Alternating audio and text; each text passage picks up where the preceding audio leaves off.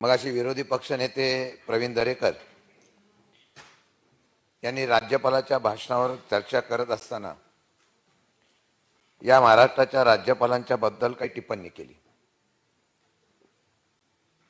सभापती महोदय मी गेले एकवीस वर्ष या सभागृहामध्ये खालच्या आणि वरच्या काम करण्याची मला संधी मिळाली. परंतु आजच्या परिस्थितीमध्ये सभागृहामध्ये राज्यपालांच्या बाबतीमधली भाषणामध्ये चर्चा करण्याची ही पहिलीच वेळ आहे. ही परिस्थिती का निर्माण झाली? पंच्याण्णवच्या कालावधीमध्ये पण युतीचं शासन होतं. त्यावेळा सुद्धा या महाराष्ट्रामध्ये राज्यपाल होते. सभापती महोदय राज्यपालांच्या कक्षेमध्ये मी फार बोलणार नाही. परंतु राज्यपालांनी माझा सरकार म्हणून ज्यावेळा उल्लेख केला आपल्या भाषणामध्ये त्यावेळा अनेक लोकांना बरं सुद्धा वाटलं आणि काही लोकांना आश्चर्य सुद्धा वाटलं. खरं म्हणलं तर राज्यपालावर टीका करणार नाही. परंतु जी महाराष्ट्रामध्ये सध्याची परिस्थिती निर्माण झाली त्या राजकीय परिस्थितीमध्ये विश्वासार्हता कमी झाली आहे असं चित्र सध्या उभं राहिलं जात आहे. या देशामध्ये लोकशाहीची उभारणी झाली. परंतु गेल्या काही वर्षापासून या देशामध्ये लोकशाही आहे का नाही याच्याबद्दलचं खरं म्हटलं तर विचार करण्यासारखी परिस्थिती निर्माण व्हायला लागलेली आहे. केंद्राची धोरणं असतील राज्याची धोरणं असतील या संदर्भामध्ये घटनेने ज्यांना ज्यांना अधिकार दिलाय त्यांना त्यांना अधिकार देत असताना त्यांनी त्या घटनेच्या प्रमाणे कार्यभार केला पाहिजे काम केलं पाहिजे अशा प्रकारची अपेक्षा सर्वांची असते. कालच या खालच्या विधिमंडळामध्ये आदरणीय उपमुख्यमंत्र्यांनी बारा आमदारांच्या बाबतीमधला नियुक्तीच्या बाबतीमधला विषय घेतला. किंबहुना कोरोनाच्या परिस्थितीमध्ये सुद्धा निर्णय घेत असताना राज्यपालांच्याकडून ज्या अपेक्षा होत्या त्या संदर्भामध्ये सुद्धा सरकार आणि राज्यपालामध्ये मतभेद निर्माण झालेले आपण सगळ्यांनी पाहिले.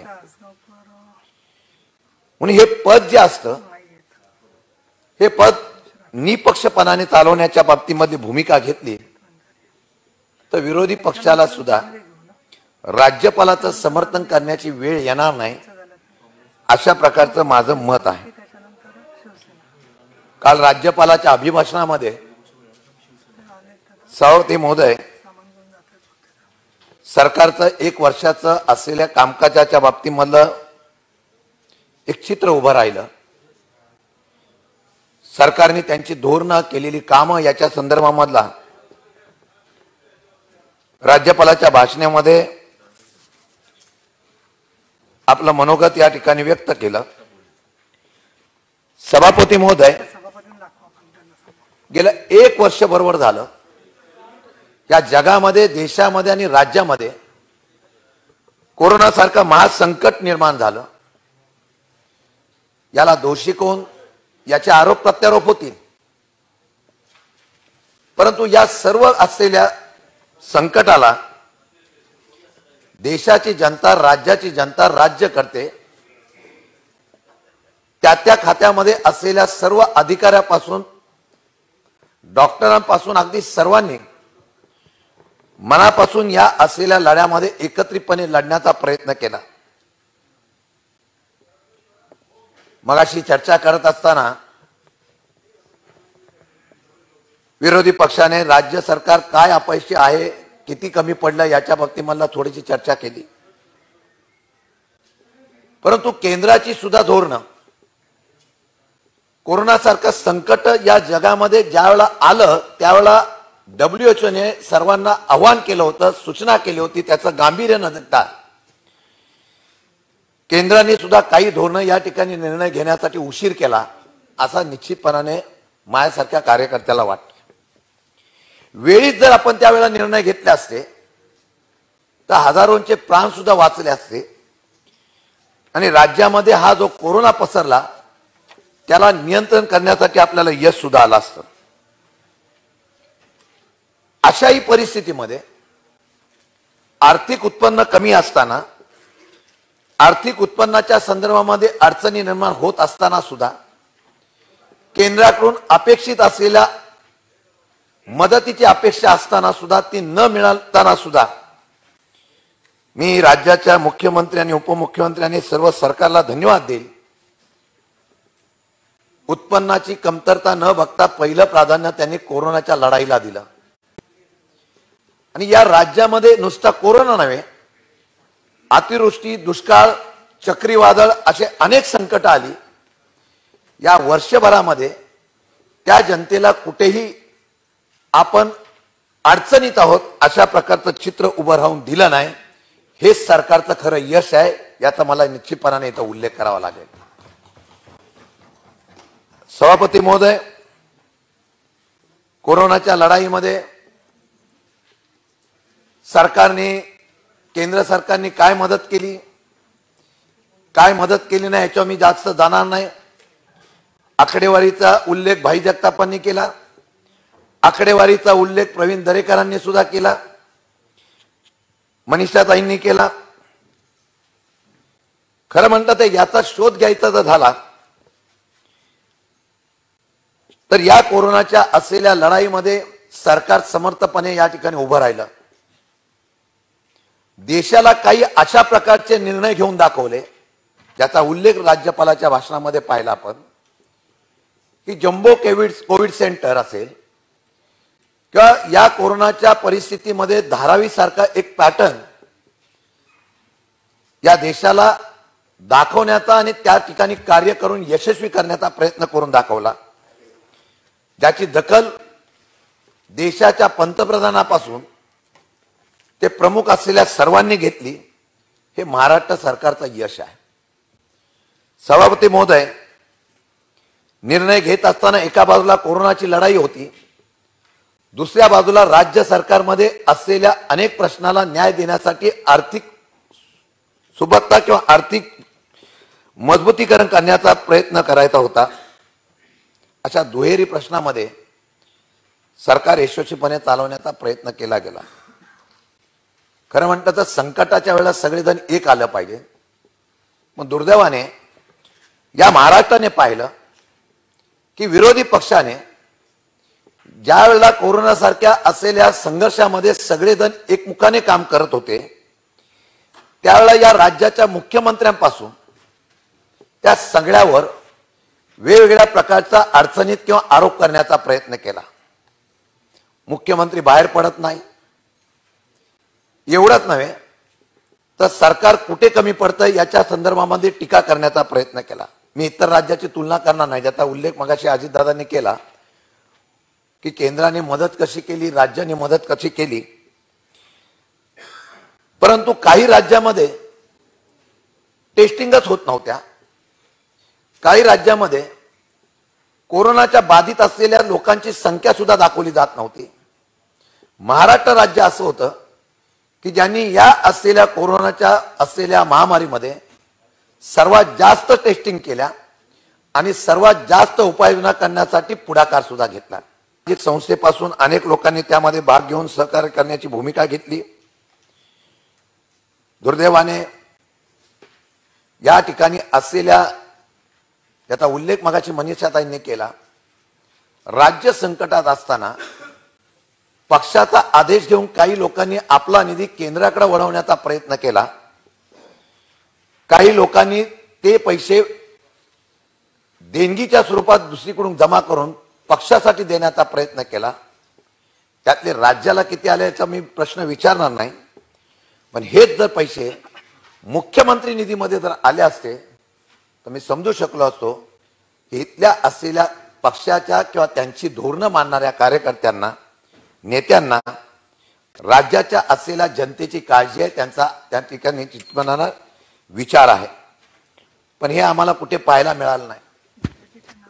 आज मला अभिमानाने सांगावं लागेल की अशा परिस्थितीमध्ये काम करत असताना राज्याच्या मुख्यमंत्र्यांनी चांगल्या प्रकारचं काम केलं याची प्रसिद्धी पत्रक हे विरोधी पक्षाने नव्हे तर देशाच्या असलेल्या डब्ल्यू एच ओनी पण सुद्धा त्या ठिकाणी त्याचा उल्लेख केला की महाराष्ट्र राज्याने यावर नियंत्रण करण्याचा चांगल्या प्रकारे प्रयत्न केला. म्हणून कोरोनाच्या परिस्थितीमध्ये ज्या काही अडचणी आल्या जे काही संकट आलं त्याला समर्थपणे समोर जात असताना वेगवेगळ्या प्रकारच्या उपाययोजना करण्यामध्ये राज्य सरकार आणि हे सरकार यशस्वी झालं.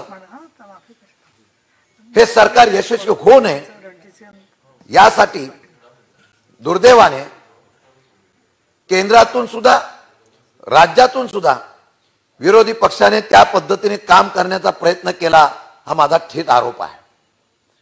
आणि अशा प्रकारचं काम करत असताना ज्यांनी फक्त आरोप करायचा आणि सरकार कसं अडचणीत येईल अशा प्रकारची भूमिका बघायची त्यांनी कोरोनाच्या संदर्भामध्ये त्यांना बोलण्याचा अधिकार आहे का? याचा पहिला प्रथम विचार करणं गरजेचं आहे. आणि कोरोनाच्या परिस्थितीमध्ये आजही मी सांगतो की सरकारकडे अनुभव चांगला आला. आज आमचे बरेच मंत्री प्रत्यक्ष फील्डवर असल्यामुळे कोरोना बाधित झाले. अनेक लोकप्रतिनिधी या ठिकाणच्या असलेल्या लोकांच्या संकटासाठी धावत गेले. तेही कोरोना बाधित झाले. अनेक अधिकारी फील्डवर करत असताना सुद्धा त्या ठिकाणी कोरोना बाधित झाले काही मृत्युमुखी पडले पण त्यांनी असलेली जबाबदारी टाळली नाही. हे सरकारचं असलेलं काम करण्याचं कौशल्य आहे. सभापती महोदय आजही कोरोना कमी झालेला नाही. आजही कोरोना परत त्या ठिकाणी उभा राहतोय अशा प्रकारचं चित्र आहे. केंद्राची धोरणं येत आहेत राज्याची धोरणं आहेत. एक साधं उदाहरण मी फक्त सांगेन.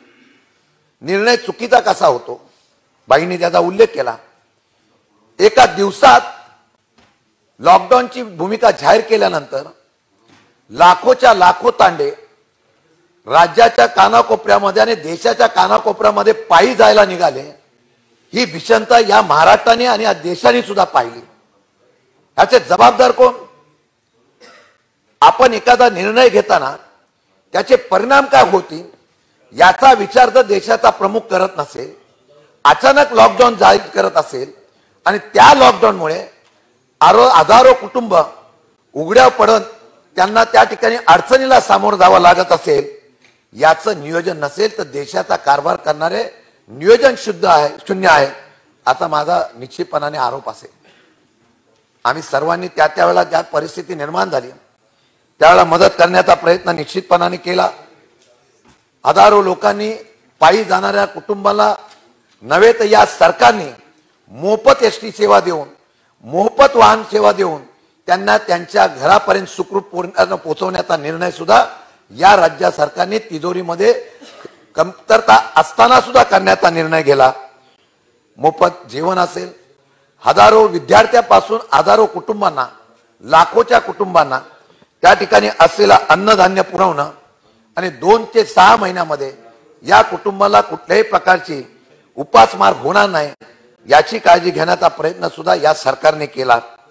आणि म्हणून सरकार कोणी काही म्हटलं तर या कामामध्ये आपल्या पराने यशस्वी झालं याचा निश्चितपणाने उल्लेख या ठिकाणी राज्यपालाच्या भाषणामध्ये आपल्याला पाहायला मिळाला. भविष्यकाळातली संकट आहे.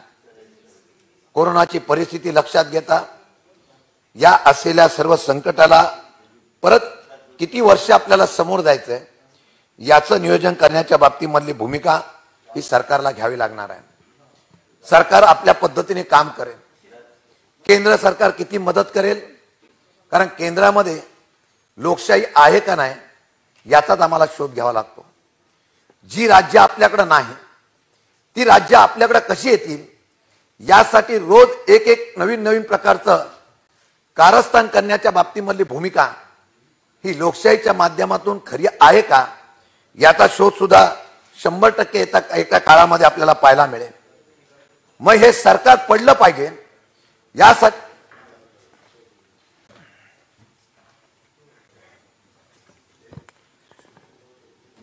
हे सरकार पडलं पाहिजे. म्हणून यासाठी सातत्याने काही ना काहीतरी राजकारण करण्याचा प्रयत्न होतो. त्यासाठी केंद्रातल्या असलेल्या शक्तीचा आणि अधिकाराचा वापर होतो. ज्यावेळेला केंद्र आपल्या असलेल्या अधिकारामध्ये या अनेक राज्याची सत्ता बदलण्याचा आणि पाडण्याचा प्रयत्न करतो हा धोका खरा महाराष्ट्राला आहे. आणि मी अभिमानाने सांगेल मी राज्याच्या मुख्यमंत्र्यांना काही लोकांना वाटलं आता मुख्यमंत्री नौके आहेत सरकार चालवतील का नाही? काही महिन्याने आम्ही परत येऊ आम्ही पुन्हा येऊ परंतु ते सगळ्या त्यांच्या आशा खोल ठरल्या. तीन पक्षाचं सरकार कसं यशस्वीपणे सगळ्या संकटाला आणि सामोरं जातं हे चित्र या देशाला कोणी दाखवलं असेल तर या महाराष्ट्र सरकारने आणि महाराष्ट्र राज्याने दाखवलं. मुख्यमंत्री उद्धवजी ठाकरे यांनी निश्चितपणाने दाखवून दिलं. निर्णय घेण्याची क्षमता लागते. विरोध केला तर विरोधकाला त्याच पद्धतीने उत्तर देण्याची सुद्धा क्षमता लागते. अनेक राज्यामध्ये आम्ही काही करू शकतो अशा प्रकारच्या भ्रमामध्ये असलेला भाजप महाराष्ट्र राज्यामध्ये कुठली कारवाई करताना दहा वेळा विचार करतो. हीच आमची क्षमता आम्ही राज्यामध्ये दाखवून दिलेली आहे. ही कृतीने दाखवून दिलेली आहे. त्यामुळे या सरकारच्या असलेल्या अस्थिरतेबद्दल कोण स्वप्न पाहत असेल तर मला वाटतं की ते चुकीचं ठरेल. आणि म्हणून चांगल्या प्रकारचं काम करण्याची भूमिका आम्ही सगळेजण करतो आमचे मंत्री करतायत सरकार करतायत याचा कौतुक करतोय. कोरोनाच्या लढाईमध्ये असताना सुद्धा अनेक मेडिकल कॉलेजांना परवानगी दिली गेली. आर्थिक चणचण असो नसो पण या राज्यातले अनेक विद्यार्थी हे डॉक्टर झाले पाहिजे अशा प्रकारचं नियोजन करून त्यांनी त्या पद्धतीने निर्णय घेतला. नैसर्गिक आपत्तीला आपण पुढे गेलो. आज तुम्हाला सांगतो मगाशी त्याचा उल्लेख केला की आपण बिल्डरांना का पाठीशी घातलं? खरं म्हटलं तर ते समोर पाहिजे नव्हते. ह्यांनी जेव्हा राज्य दिलं तेव्हा या राज्यामध्ये जे कर्ज होतं त्याच्या तिपटीने कर्ज सरकार चालवण्याची पण धमक लागते. एखाद्याला अचानक सरकार चालवायला भेटलं आणि पाच वर्षात ते कर्जबाजारी करून ठेवण्याचा विक्रम जर कोणता पक्ष करत असेल तर तो मागच्या कालावधीमध्ये या भाजप सरकारने केला. अशा वेळेला कोरोनाच्या परिस्थितीमध्ये उत्पन्न किती कमी झालंय हे राज्यपालाच्या भाषणामध्ये आपल्याला पाहायला मिळालं. परंतु सरकार चाललं पाहिजे कर्मचाऱ्यापासून असलेल्या सर्वांचे पगारापासून सरकारच्या असलेल्या सर्व घटकांना या ठिकाणी न्याय देत असताना लोकांच्या असलेल्या अपेक्षा पूर्ण करण्याचा या ठिकाणी प्रयत्न केला. एक दीड वर्षामध्ये आज सरकारने केला. मी आपल्याला सांगू इच्छितो की हा निर्णय बिल्डरांसाठी नव्हता. हा निर्णय उत्पादन वाढवण्यासाठी होता. जर आपल्याकडे उत्पादन कुठून वाढू शकतं तर ते आज महसूल विभागातून जमीन क्षेत्रातून आणि बिल्डरच्या क्षेत्रातून उभं राहू शकतं याची माहिती सरकारने घेऊन आज त्याच्याबद्दलचं मुद मुद्रांक शुल्क कमी करण्याचा निर्णय घेतला. त्यांनी माहिती घ्यावी. विरोधी पक्षनेते माहिती घेत असतील तर मी त्यांना सांगू इच्छितो. की गेल्या हा निर्णय घेतल्यानंतर राज्याच्या तिजोरीमध्ये दुप्पट का तिप्पट पैसे गेल्या वर्षभरामध्ये जमा झाले. हे पैसे शेवटी वापरले कोणासाठी? आपण तोच कायदा ठेवला असता तोच नियम ठेवला असता. तर दुर्दैवाने या असलेल्या उत्पन्नामध्ये वाढ झाली नसती. एका बाजूला केंद्र पैसे देत नाही एका बाजूला राज्यातून उत्पन्न वाढलं नाही की यांच्या डोक्यामध्ये एकच होतं हे सरकार अपयशी आहे हे सरकार चालू शकत नाही अशा प्रकारचं त्या ठिकाणी आरोप करण्यासाठी मोकळे झाले असते. पण राज्याचे अर्थमंत्री हे अजितदादांच्या माध्यमातून लाभले. हुशार अर्थमंत्र्यांनी व्यवस्थितपणे आपला महसूल कसा वाढला पाहिजे? राजाच्या तिजोरीमध्ये कसा नफा झाला पाहिजे? याच्याबद्दलचा अभ्यास केला आणि गेल्या सहा महिन्यामध्ये कोरोनावर मात करत सगळी संकट असताना सुद्धा या राज्याच्या आर्थिक घडी रुळावर आणण्याचा प्रयत्न केलेला आहे. आणि म्हणून अशा पद्धतीचा निर्णय आपण घेतो. हे निर्णय घेण्याच्या बाबतीमधली क्षमता अनुभवी लोकांना लागते. शिवसेनेकडचा अनुभव होता. त्यांना मागच्या सरकारमधला असलेला भाजपचा अनुभव आला. मी खरं म्हटलं तर रावते साहेब शिवसेनेला मनापासून धन्यवाद देईन. वीस वर्षाचा आपला मित्रत्वाचा अनुभव आला जो आज नितीश कुमारला येतोय. तुम्हाला आला म्हणून तुम्ही वेळेस सावध झाला. आपण संपण्यापेक्षा समोरचा संपला पाहिजे ही भूमिका घेतली. आणि म्हणून शिवसेना राष्ट्रवादी काँग्रेसची महाविकास आघाडी झाली. आता ही आघाडी झाल्यानंतर या ठिकाणी काही लोकांना अडचण वाटत असेल. मला कळत नाही की आरेच्या शेडचं एवढी चर्चा काय होते? आरेचं शेड मॅट्रोचे शेड मुलुंडला बांधावं का गोरेगावला बांधावं? आता तो सरकारने निर्णय बदलला तर काही लोकांना ते अन्यायकारक का वाटतं? याचा शोध आजही आम्हाला झाला नाही. माझी अपेक्षा आहे अस्लम शेख तिथले मंत्री आहेत मला वाटतं संपर्क मंत्री. त्यांना माहीत असेल पण यामध्ये काही लोकांचा जास्त इंटरेस्ट आहे का? मॅट्रोच्या माध्यमातून त्या ठिकाणी ती जमीन वन जमीन म्हणून आपण आठशे एकरची निर्मिती केली मुंबईसारख्या शहरामध्ये एवढं मोठं वन जमीन उभं करण्याचं आणि व- त्या ठिकाणी अभयारण्य उभं करण्याचं ताकद हे फक्त आपण दाखवू शकलो. पण त्यावेळेला सुद्धा फार मोठा गदारोळ झाला. पण सरकार डगमगलं नाही. निर्णय घेतला तर घेतला. कोणाला चांगला वाटो किंवा कोणाला वाईट वाटो. या संदर्भामध्ये परत तिथे सुद्धा अडचणी आणण्याचा प्रयत्न केला. केंद्रातून दबाव आणण्याचा प्रयत्न केला. तरी सुद्धा निर्णय घेण्याचा प्रयत्न झाल्यानंतर मुलूंच्यासाठी सुद्धा केस टाकण्याचा प्रयत्न झाला. अशा प्रकारचं कपटी राजकारण गेल्या कैला दहा वर्षामध्ये या देशाने पाहिलं आणि या राज्याने सुद्धा पाहिलं. आणि म्हणून आमच्या सर्वांची भूमिका एवढंच आहे की आम्ही पूर्णपणाने या सरकारच्या पाठीमागं उभं राहत असताना या ठिकाणी चांगल्या निर्णयाच्या संदर्भातला निर्णय घेऊ.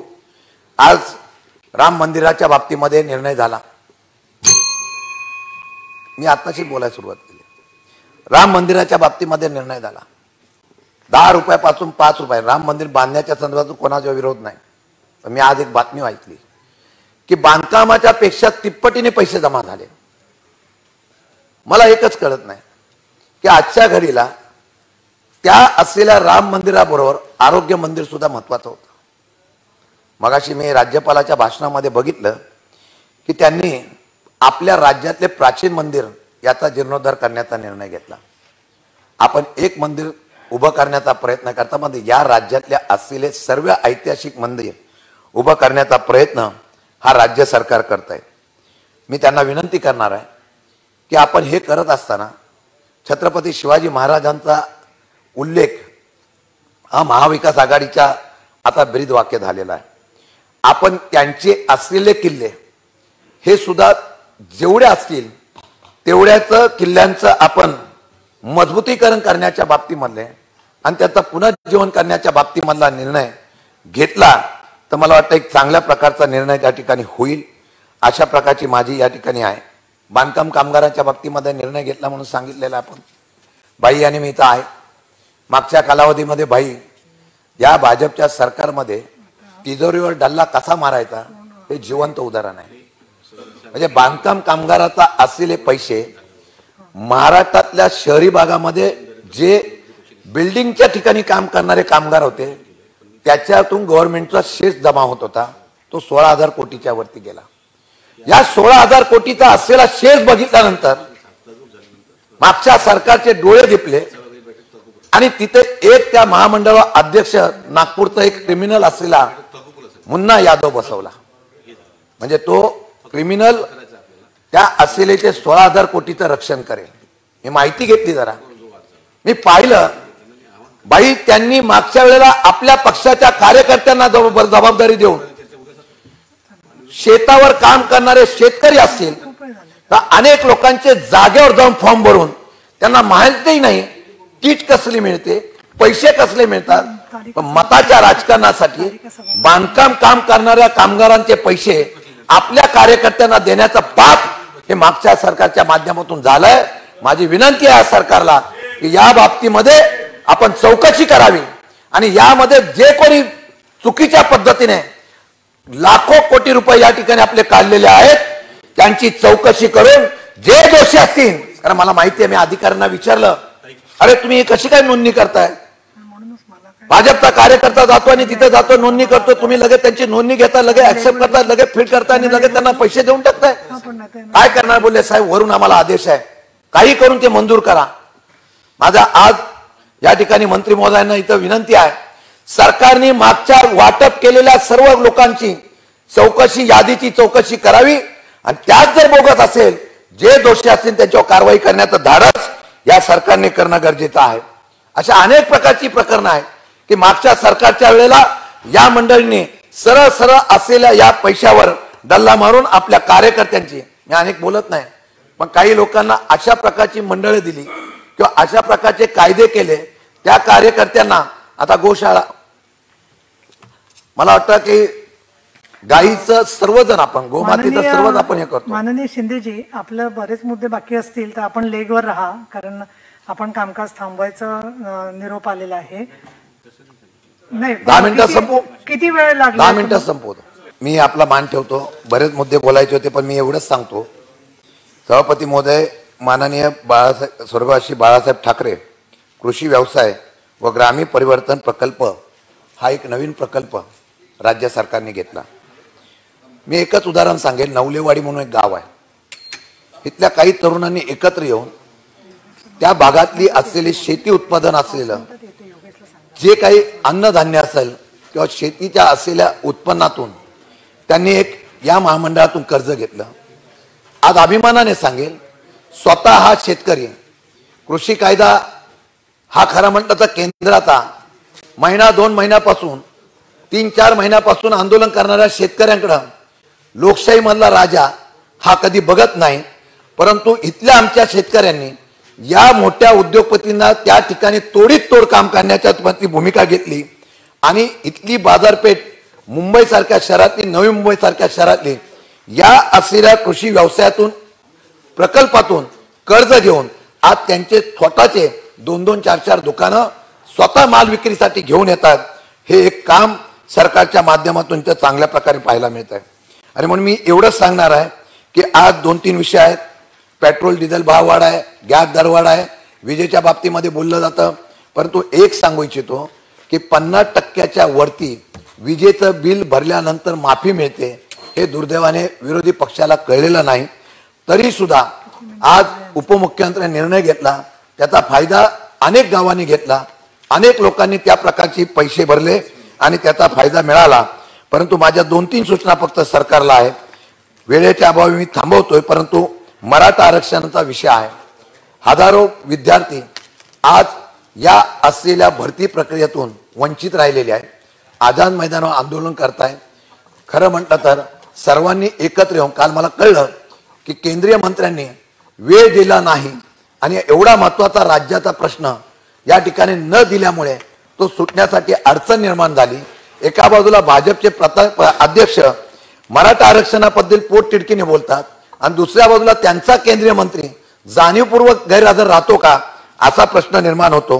आणि म्हणून भरतीच्या संदर्भातला प्रश्न आहे आज राज्यातल्या अनेक तरुणांची अपेक्षा आहे भरतीला वेटिंगमध्ये काही काही पोलीस डिपार्टमेंटमध्ये सिलेक्शन झालेले असलेले लोक आज वेटिंगला राहिलेले आहेत. आणि म्हणून या सर्व गोष्टीच्या माध्यमातून आपण निर्णय घेण्याच्या बाबतीत मला निर्णय घ्यावा. जाताना दोन विषय सांगेल. केंद्र सरकार कशा पद्धतीने खेळी करत आहे फार नियोजनबद्ध अशा प्रकारचं एक काम करत आहे कोरोनाच्या काळातच दोन कायदे आणले. एक कृषी कायदा आणि कामगार कायदा. दोन्ही कायदे घातक आहे या देशामध्ये या असलेल्या कायदे आणण्यामुळे यामुळे पूर्णपणाने दोन्ही सामान्य असलेला शेतकरी आणि कामगार हा उद्ध्वस्त होणार आहे. अशा परिस्थितीमध्ये राज्यांनी त्याची भूमिका स्पष्ट करणं गरजेचं आहे. बाई आपल्याला ही एकट्या वेळा चर्चा आणावी लागेल. राज्यांनी त्या कायद्याला विरोध करायचा का नाही याचा निर्णय गरजे गरजेचा आहे. पश्चिम बंगालने एक अधिवेशन बोलवलं आणि कृषी कायद्याला विरोध केला. पंजाबने अधिवेशन बोलवलं कृषी कायद्याला विरोध केला. सरकार काय करू शकतं जनता हे पंजाबच्या महानगरपालिकेच्या निवडणुकीला सुद्धा पाहायला मिळालं.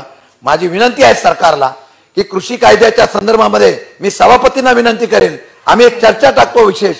आणि त्या संदर्भामध्ये या कृषी कायद्यातून सामान्य शेतकरी माथाडी कामगार असेल किंवा सर्व घटक वाचला पाहिजे या संदर्भातून चर्चा करण्याच्या संदर्भातला निर्णय घ्यावा.